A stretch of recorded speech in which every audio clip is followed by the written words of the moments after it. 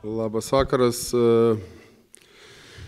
Nu, ką labiausiai, labiausiai gaila, kad apie tai, ką kalbėjome, su tuo visu mus ir nubaudė. Tai kalbėjom, kad tai komanda, kuri šiuo metu yra tikrai karšta, per paskutinės keturias rungtynės tris laimėjo, mesdami vidutiniškai 93 taškus.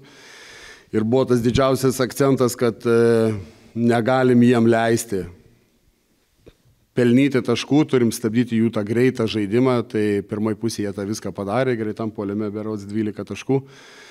Ir visi kiti dalykai, individualiai gynybai mes e, prieš žaidėjus, kuriuos ruošiamės kaip prieš žaidėjus, kurie veržiasi link krepšio, jie ir veržiasi link krepšio, tie, kurie meta, tie ir metė.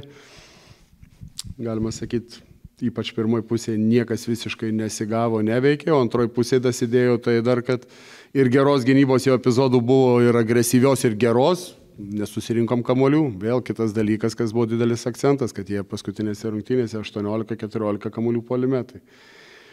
Čia patys turime į veidrodį pasižiūrėti.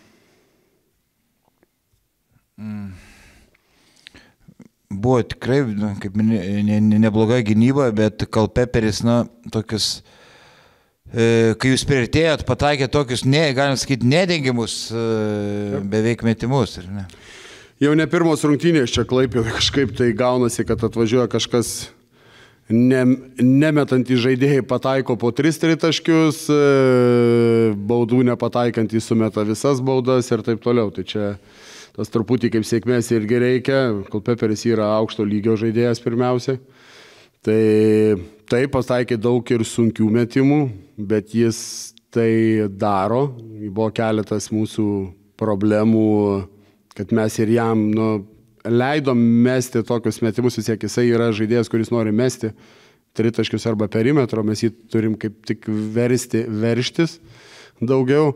Ir jeigu mes ketvirtam kaip ketvirtį ateinam į paskutinę minutę ir ateinam turėdami tik tai dvi komandinės pražangas, nu, tai reiškia, nu, mes nu, nepadarom savo darbo. Jeigu pradeda verštis kažkas, tai galim baudą išnaudoti, galim nu, tuos keturis taškus nuimti. Tai čia tie dalykai, čia viskas susidėjo į vieną vietą. Kaip sakau, būna tokių rungtynių, čia buvo, jie visiškai puolimu laimėjo šitas rungtynės. Antroji pusė tikrai žaisdami individualiai, turi individualiai tuos du stiprius tikrai perimetro žaidėjus ir mes nesugebėjom net baudos padaryti tada, kada reikėjo. Reikia žiūrėti sekančias rungtynės, tikrai manau, kad pasitikėjimo pridėjo bet turėjom e, trumpą laiką šitom rungtynėm pasiruošti. Tai džiaugiuosi, kad e, vyrai greitai pagavo, ko mes šiandien norėjom. E, ir manau, tas pirmas kelnys mums mum davė tokį impulso, kad galim šiandien kautis. Svarbu, kelionė ilga, keturios valandos kelio, bet, bet tas pirmas kelnys uždėjo toną ir, ir manau, kad vyrai patikėjo, kad gali kautis.